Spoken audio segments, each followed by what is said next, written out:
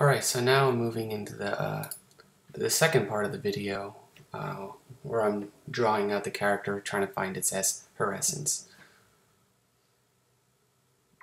And now, you know, I, what I did was I, I lowered the first uh, layer's opacity, kind of really my real rough sketch version of it, and I'm kind of trying to find a bit of the design over it on a new layer. You know, does it have a long neck piece, short neck piece, big shoulder pads, small shoulder pads?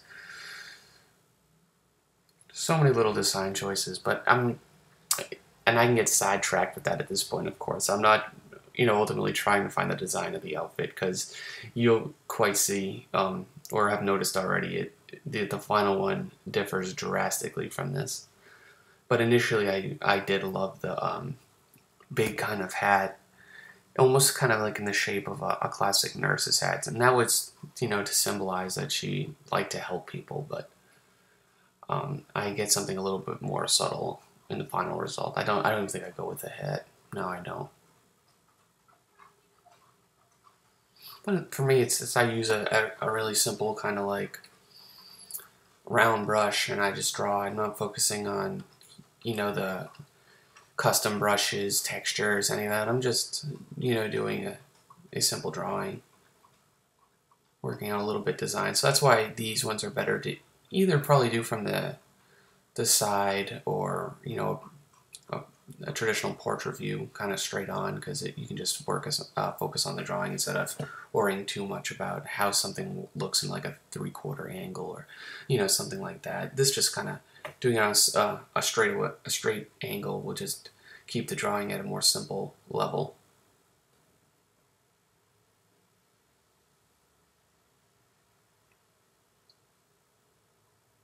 So it's yeah, it's it's coming together more or less. Just takes a little time, especially with the hair. I'm not that great at hair, so it takes me a few ways to figure out how I want it uh, flowing. And I think in the, the final, the color one I do in the next video, I, I even change the direction again. And some more things to think about which a character is, you know, the motivator. You know, what, what motivates the character. And I, I talked about that being their passion. You know, so it, it's this character always looking to to find um, peace or create balance in in her world and situations, and you know from that you can derive the mood and outlook of the character. You know how is she how is she always feeling and how does she look at the world? Uh, you know, she'd be even tempered uh, and optimistic. Uh, I don't see this type of character as being a, uh, a pessimistic, really. That just wouldn't make sense.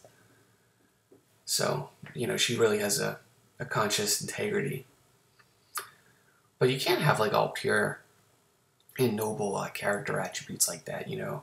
Um, this character would be, I, I could see her being, you know, impulsiveness and be really kind of spontaneous, and that can kind of get her into trouble with situations and, you know, trusting the wrong people. Um, you know, that's, that's a character flaw. Um, and she, but she's flexible though. She, you know, I'm thinking, you know, she's adaptable, open mind, open minded, and it's also again that open mindedness that, you know, can get her into trouble sometimes. And eventually, that can make you know her general affinity about the character. She can go through, uh, I would say, uh, periods of time where she's just cold, cold to others. You know, she loves helping them, but she get, I'm guessing she, you know, she could get frustrated, and uh, with that, and just kind of shut the the outside world off. And you know again that could uh and that comes from having an engaging type of you know personality where she's really um, interactive with others. And um, but yeah ultimately she can be defensive in, in some of those situations because because of her frustratedness and furthermore if, uh, furthermore if you were to work out even more intricacies of characters. Uh, you could find, you know, their habits, their their oddities, you know, little things like that. You know, what their favorite pastime is. But I, I don't go quite that far in all the time.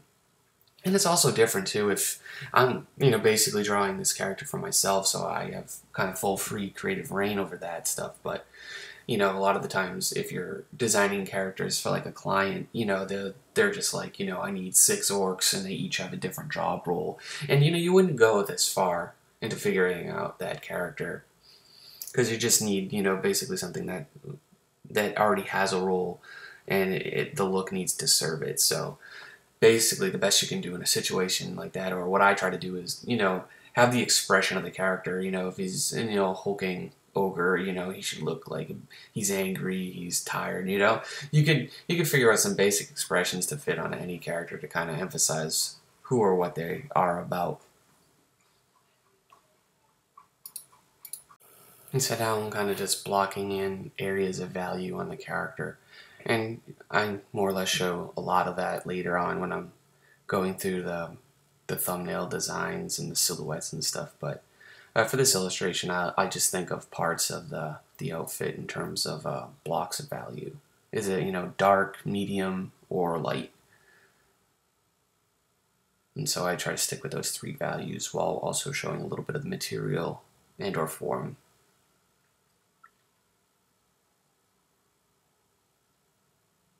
I actually spent a, a lot more time on this one than I normally do. typically for something like this. I don't probably because I knew I was going to have to record this and uh, talk about it, but so it just kind of made me a little self conscious or extra weary of it. But oh man, shoulder pads. You could just, uh, you could design shoulder pads all day. They just, when do they end? I, there's so many different options for those. I guess I get kind of frustrated with it because I, I know a lot of characters have them. They, it makes them look cool and everything, but oh, the design possibilities are just endless. So it's just a matter of knowing when to stop and when when you're overdoing it and when you're not.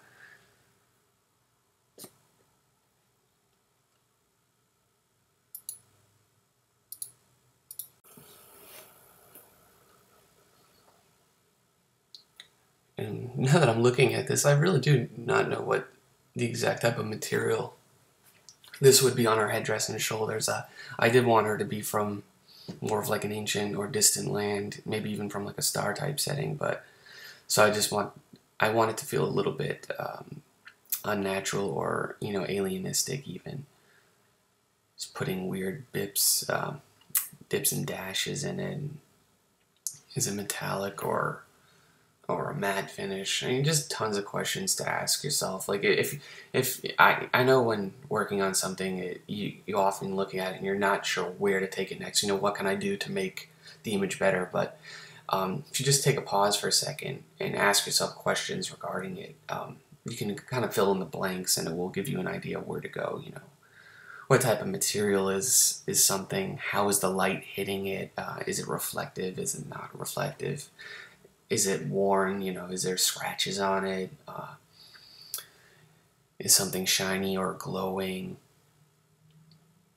Just you know, just ask yourself questions, or that's what I do anyways, and, and and I figure out where to take the piece next. And what I did here is, you know, I duplicated the original drawing in case when I'm going over it more now here, I didn't like what I did, so I kind of made a backup of it within the same canvas. That's all that was kind of late to describing that, but yeah, that's all it was. And now I'm going back to kind of add a little bit more life into the eyes. They, they pretty much were fine, but I don't know. I, I'm probably just overworking it at this point.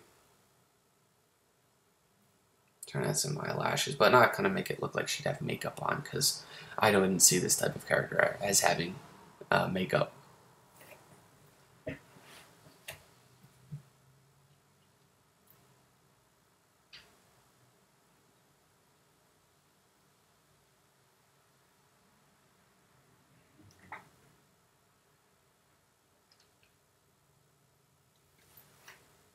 Yeah, I had part of the reference over on the other screen that just popped up. Sorry, I should have I should have showed it more. I thought I did.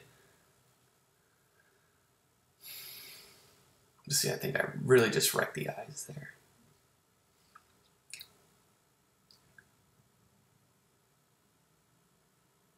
Of course, um, when you have the, you know, the the eyelid and the with the lashes and everything, don't forget to kind of put a cast shadow underneath it. Um, on the eyeball itself to kind of show its uh, form and and whatnot. Uh, the highlight on the eyeball as well would also give it more definition. So nearly finishing this up now, just putting a last uh, few touches on this and again redesigning the, the damn shoulder pads. Couldn't make up my mind.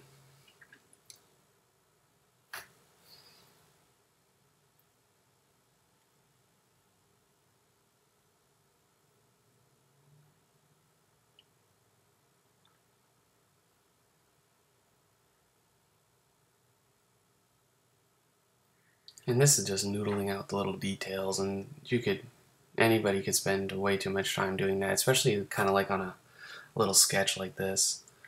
which just, you know, supposed to capture the general idea of the character. But anyway, it, detailing's fun. It's a little less stressful, and sometimes I like to do it when I'm not trying to think of the, the larger problems regarding the, the image. So now I'm even exploring a little bit of ideas or, or designs with the within the cape.